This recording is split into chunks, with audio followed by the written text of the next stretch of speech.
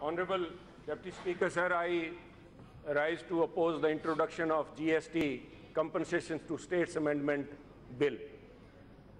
Sir, when the constitution amendment was moved to bring in the GST law, states subsumed their sovereignty at the altar of the greater good for the country. But now, as the things stand today, the states are being denied their share. And I think the GST Council itself had constituted an advisory body which met in November 2017 under uh, headed by IR, IRS officer, which had states and other trade and labor representatives presented to it. A report was submitted which was never presented to the state ministers, which was never discussed until after the amendments to the law were made. And only when Punjab government raised the objection to this, a post facto kind of uh, this report was submitted.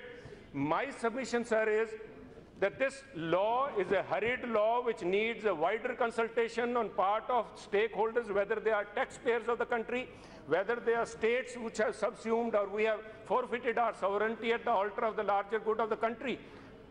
Punjab alone, sir, we stand to lose 10,000 crore of revenue every year. And this sunset clause of five years, where would we be left with? As a, my honorable colleague from Akali Dal was only now talking, we are in dire straits. This government itself, honorable finance minister is here, he had moved this insolvency bill where they said willful defaulters. My submission to the honorable minister, sir, is what do you do? You have a law against the willful industrialist or will, will, uh, willful defrauders of the uh, uh, uh, industrialist. But what about the willful defaulters when the state goes, the state government is a willful defaulter. 30, 31,000 crore rupees were handed over to the central government by the previous Akali BJP government a day before the new government was constituted in Punjab. 11th of March 2017, the assembly chose Congress government with two-third majority. A day prior to that, the Akali government came and submitted a check of 31,000 crore rupees on account of food grain. 31,000 crore rupees, sir. We are, Punjab government today is paying uh, uh, interest plus the amount uh, every year, 3,300 crore rupees every year. I think we have a claim to that. On top of that, the GST is hurting our sentiments. What happens to us after five years? Punjab finance minister during this GST council had very wisely said that there should be a wider consultation before any such act Right, is right. introduced. And I still stand by my finance minister and I expect that this amendments will be subject because, sir, there's another very important issue. That is of micro, medium, small scale industry, sir. 90% of our taxpayers come into that bracket.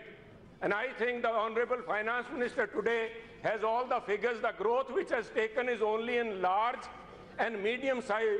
The improvement in the revenue collection is only on those two accounts.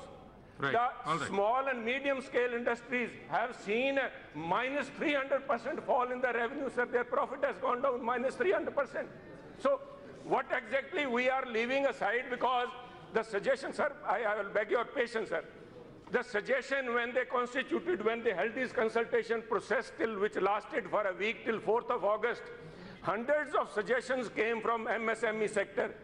Those suggestions are not included in this advisory report which this council has submitted, sir, because by the admission of the own council, they are saying this needs a wider study.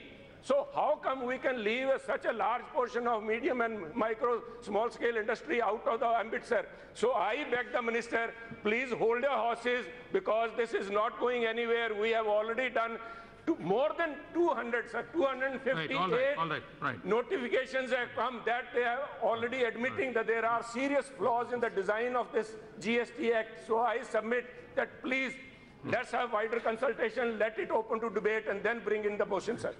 Thank you, sir. Right. Honorable Deputy Speaker, sir, I am uh, extremely surprised